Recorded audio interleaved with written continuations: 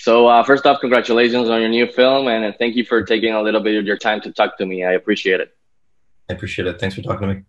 So, Mr. Campos, we all know that uh, book to film adaptations can be uh, sometimes tough and a bit tricky. So, I wanted to ask you, what was the most challenging aspect of doing that adaptation from book to film uh, with this material? Material, which uh, it's it's pretty dark.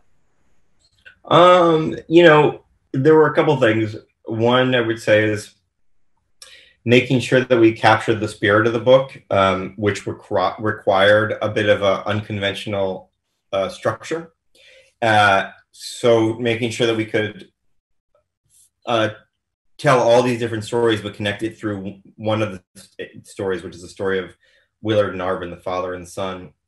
Um, and the other thing is that the book, because books are are able to go and be more explicit and more graphic, the book goes even further into sort of darkness and and um, and and and very savage imagery at times. And so we had to figure out how to push it as far as we could push it on screen and never do it to the point where it would be um, completely um, you know off-putting. So you know the movie pushes boundaries and and really takes you to places uh, in terms of you know in terms of the violence and kind of how crazy the story gets. But you know I can say that the book it was probably even crazier.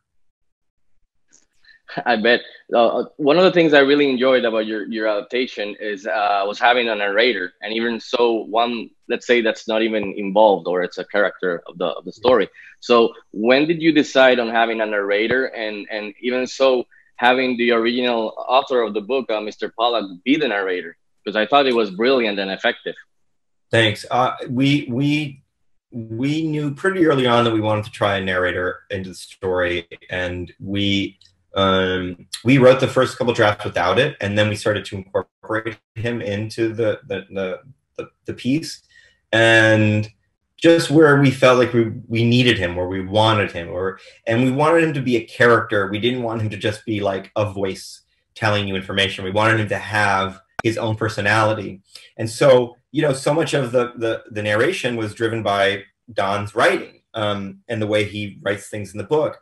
So it was about figuring out like you know how to also give Don's the author a, a bit of personality, and that came partially from knowing Don.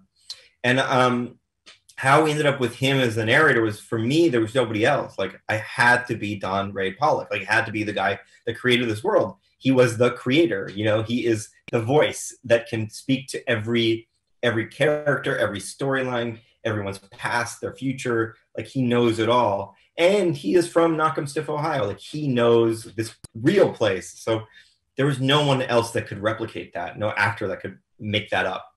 So it was always Don. Thank God Don said yes. I thought it was, it, it, was really effective. So again, uh, thank you for your time and congratulations on your new film and uh, stay safe. Yeah, you too. Take care.